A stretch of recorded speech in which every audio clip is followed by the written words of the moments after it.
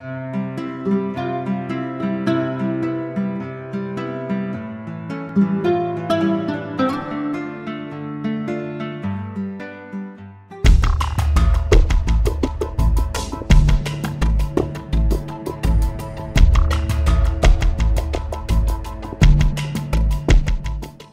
Century Elementary in Bear River City brought together a host of young scientists as the kindergarten, first, second, and third graders demonstrated their knowledge to judges during the recent science fair. Here is a sampling of their work. I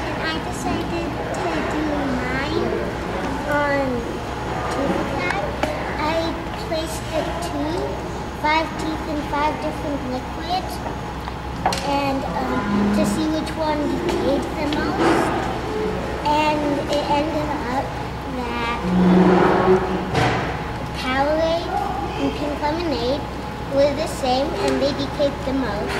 Next was apple juice. Water and Coke stayed the same. It's supposed to because I thought that Coke would decay the most. The drinks that caused the most decay are the drinks with the highest acid. My name is Haley Sidaway. It's a draft horseshoe, known as a Percheron, Shire, and a Clydesdale. But these are two regulars. This one is an adult halfway, and this one is a two-year-old. White line right here, and then the wall. And then in the middle of it would be the frog, but it's clipped. This one has been shaved and then cut. And look, there's pink. That means she's abscessed. Abscess means an infection in the foot or anywhere. There could be lip though. I'm in second grade. Um, my teacher's name is Mrs. Reader.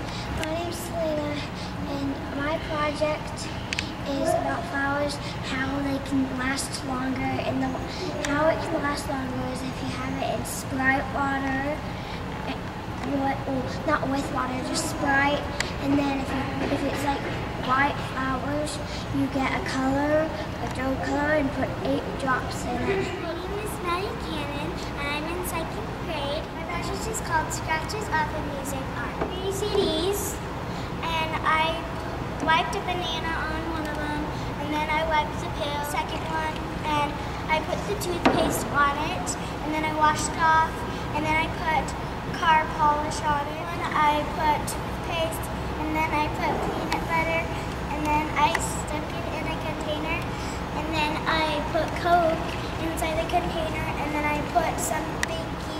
soda on top, and then I shake it a little bit.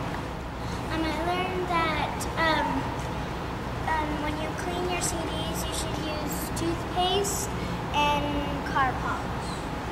I'm Ashton Iverson, and um, I'm in second grade. And so uh, you put water, you put, you put water, and you put salt. You put water, salt, and and then you put you drop the egg, and then it starts floating.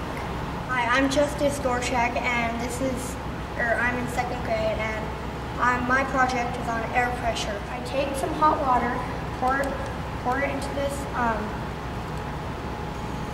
um,